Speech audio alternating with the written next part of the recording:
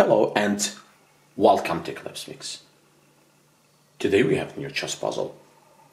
Best move for black, please. Best move for black, please.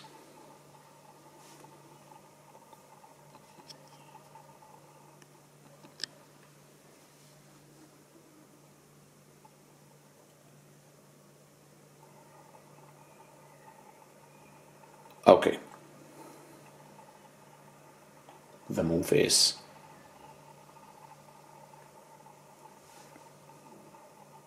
bishop to e4 bishop to e4 we are attacking this pawn.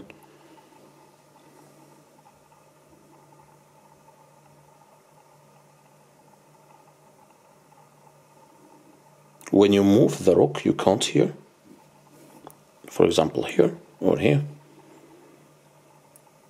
then you have the nice move rook to b7 check mate it's a checkmate.